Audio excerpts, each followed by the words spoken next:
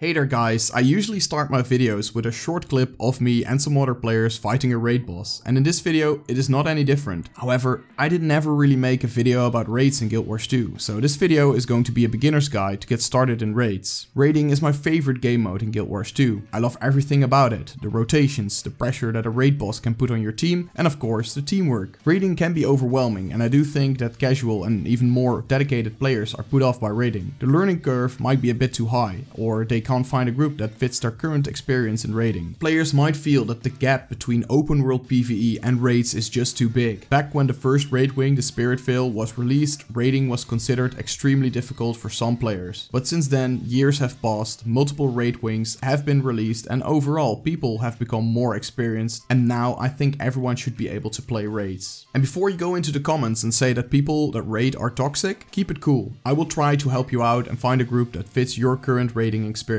Raiding in Guild Wars 2 isn't so much about dealing the most damage, it is more about knowing the mechanics of each boss. So, if you know the mechanics of a raid boss, then you have already come a long way. In this video I'm going to explain the basics of raiding in Guild Wars 2. I'm going to cover profession difficulty, choosing a build, the importance of your rotation, gear, finding a group and learning the boss mechanics. Also, to start raiding you will need the Heart of Thorns expansion and it would really be helpful if you also have the Path of Fire expansion. I'm not going to discuss every raid boss mechanic, those deserve a video on their own. It is best to read up on a guide or watch a video dedicated for that specific raid boss. This video is only going to focus on the basics and what you need to get started. As usual with my lengthier videos, you can find the timestamps in the video description. Alright, let's get into the video. Why would you want to raid in the first place? The rewards of course. You could want to raid because of the prestigious titles, unique skins or just for fun, which is a reward itself. After you defeat a raid boss, you will be given a number of magnetite shards or Gaeting crystals, depending on the raid wing. Next to that, you will also get gold, a legendary insight, a fragment of the boss you just defeated, which can be used to create a statue in your guild hall, and another exotic or ascended item. Legendary insights are used to craft legendary equipment, but it is also used to show your experience and join higher level groups.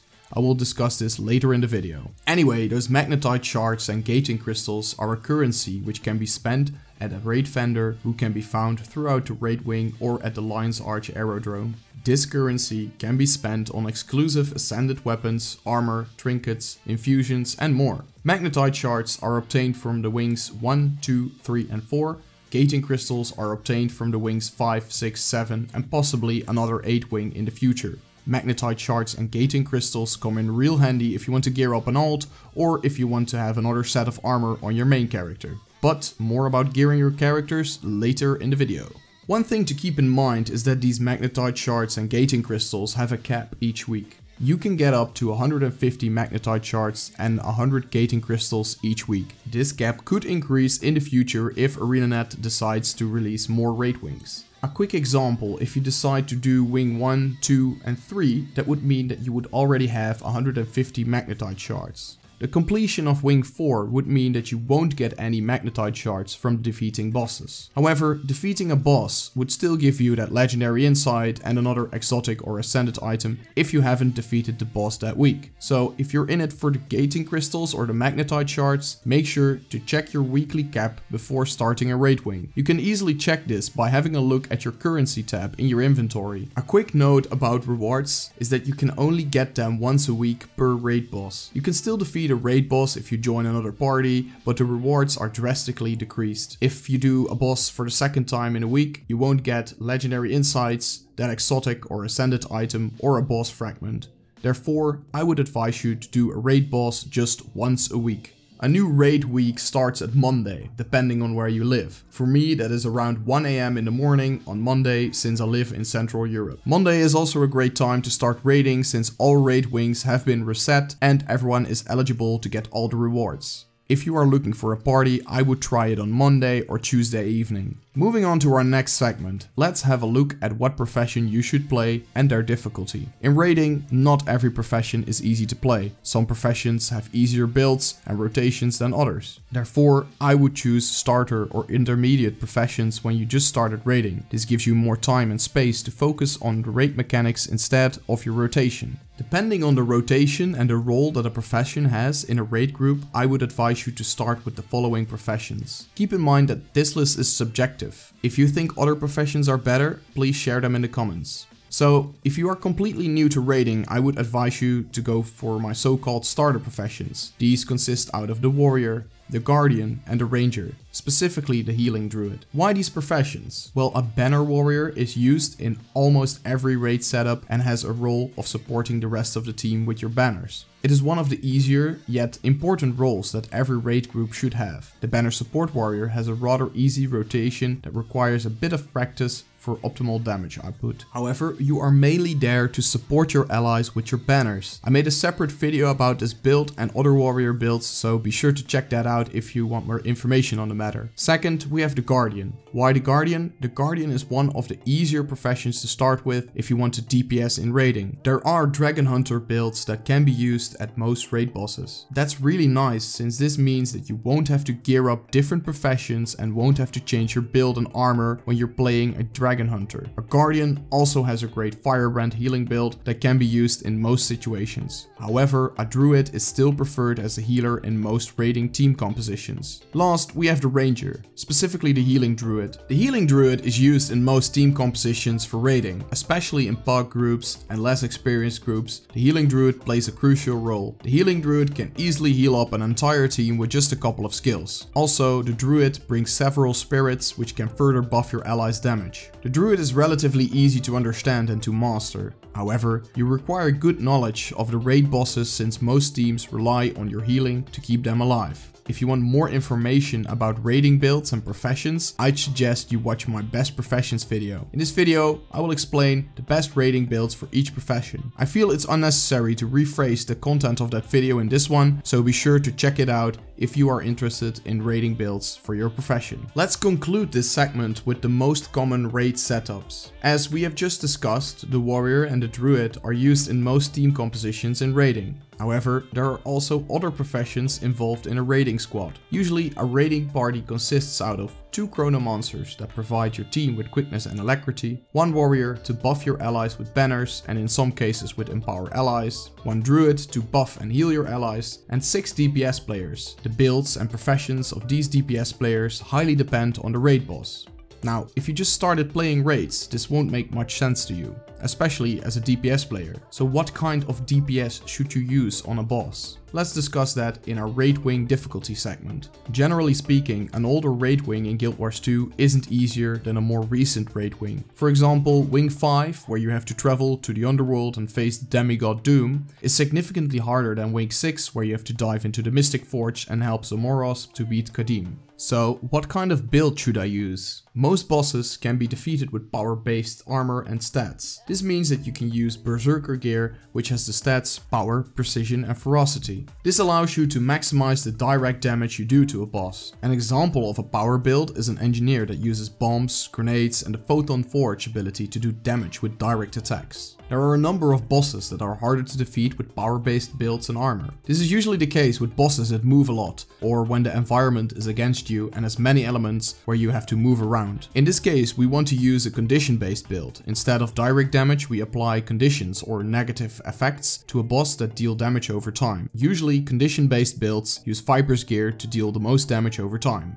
Viper's gear has the following stats, condition damage, power, precision and expertise. An example of a condition build is a condition renegade. This renegade build uses torment to damage raid bosses when they move around and the build also uses conditions like bleeding and burning. For a more in detail updated version of power and condition builds, I would suggest to have a look at the Snowcrow's website. You can find the website in the video description. So what should you use where and where should you start? Have a look at the screen. In this case, you want to start with the oldest raid wing, the Spirit Vale. Why? Basically every raider out there has done this wing and it only requires you to play a power DPS if you are playing a DPS. That means that as a DPS player, you can basically use one profession to complete the whole raid wing with. Actually, I'm quite certain that your whole team can stay the same for the entire raid wing, no need to change professions. What about the other raid wings? Let me sum that up and have a look at the screen. So Let's start with Wing 1, the Spirit Vale. It has 3 bosses that can easily be beaten with power gear. Then, I would personally focus on Wing 3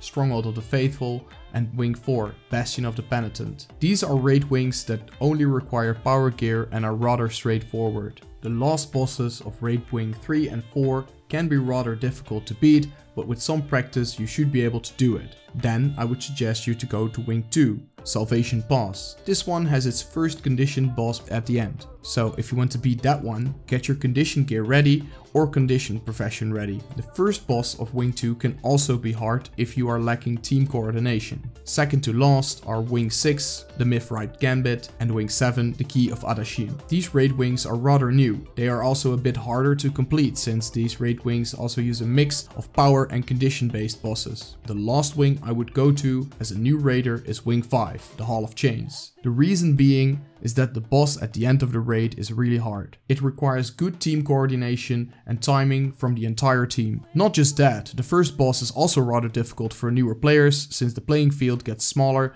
and has multiple elements that can instantly kill your party. So that is my advice in which order you should try and complete the current raid wings. If you have another order in mind or have an additional comment, make sure to leave them below the video. Now we just talked about condition and power based builds, but how should you get this gear and do optimal damage with these builds? Well, let's first talk about gear. For raiding, it is advised to use full ascended armor, weapons and trinkets. However, if you have trouble getting ascended armor, you could also start with ascended weapons and trinkets while the rest of your gear is exotic. I do advise you to get full ascended gear if you can, especially if you just started raiding. The increase in stats does a good amount of extra damage and can make up for mistakes in your rotation. Now how should you get Ascended armor? Well, that really deserves a guide itself. There are a number of ways to get Ascended armor, however there are just a few methods that are commonly used. These include completing Living World achievements, crafting, Fractals of the Mists and raiding itself. I would start with getting Ascended trinkets and rings since these are the easiest to get, especially the ones with Berserker stats.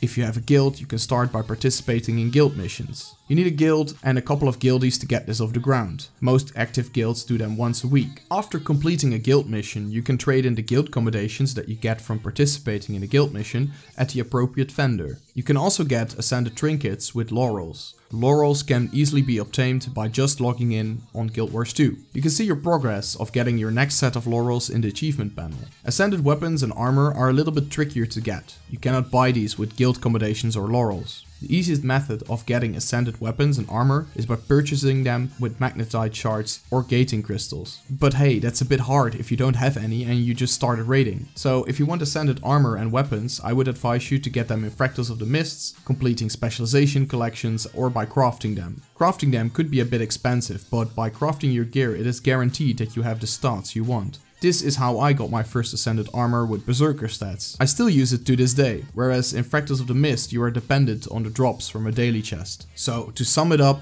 get your trinkets and rings through laurels and guild commendations, and get your first set of ascended armor and weapons through crafting. If you think another way of getting ascended gear is better, please leave it in the comments. Now you got your gear, it is time to practice your skill rotation. Is it important? Yes it is. Especially when you're new to raiding, you want to master certain skill rotations and combinations to better understand your profession and do the most damage. In most cases, you only have 10 minutes to defeat a raid boss, so you want to deal enough damage to defeat the raid boss in time. Knowing the correct skill rotations will not only make you do more more damage, but it could also make up for the lack of knowledge of a raid boss you haven't done before. Having mastered your profession and rotation allows you to pay more attention to the actions of the boss, your squad and changes in the environment. For example, Desmina, the Soulless Horror, the first boss of Wing 5, has a lot of changes in the environment during the fight. If you lack the knowledge of your profession or skill rotation, then you will most likely deal less than the required amount of damage and you won't be able to finish the fight in time. So how do you master your skill rotation? Well, it requires some practice, especially if you are a DPS profession. First, you want to head to the Snowcrows website or any other website that has rotations for raid builds and navigate to the build you are playing or want to play. Then look for the skill rotation in a video or a written guide. This might look very complicated, but with some practice you can pull it off too. Second, you want to try out the skill rotation on the DPS golem in Lion's Arch Aerodrome. Walk up to the arena settings machine and select the following. Adjust self, boons, all of them. Then go to the profession mechanics and select warrior, banner of strength, banner of discipline and empower allies. Then go to ranger, sun spirit, Frost Spirit and Spotter. Up next, you want to head up to the Golem spawner and select the following. Spawn a Golem, huge. In most cases, you want to select huge. Strong enemy, 10 million health. And then select additional options, add conditions, all of them. And then, last but not least, select please spawn my golem. Also, use the food that is required for your build, else you won't hit the numbers you could get. I know the food costs gold, but it helps a lot to nail your rotation and get a realistic view of how well you are performing. Each build uses a different kind of food, so have a look at what kind of food your build uses and purchase some from the trading post. Why do we select these settings? Well, these settings reflect the most realistic scenario when you are up against a raid boss. The buffs on yourself is what you and your squad should be having up all of the time. Mainly the boons Might, Fury, Quickness and Alacrity. Now, last but not least, you want to try out your rotation. Try it slowly and read up on why you want to execute the rotation in that specific order. I know it looks hard, but a bit of practice could get you a long way. Give it 15 minutes on the DPS golem and see how far you have come. Also, I use an add-on called Arc DPS. This handy tool gives you a good overview which skills use the most damage and give an accurate view of how you are performing. Keep in mind that this is a third party application and therefore there could be risks attached to it. If anything happens to your PC or your Guild Wars 2 account, ArenaNet nor myself are not responsible for it. Use this add-on at your own risk. However, I've been using it for years without any problems, so if anything happens, it is most likely not the fault of Arc DPS. There is no need to panic if you don't hit the numbers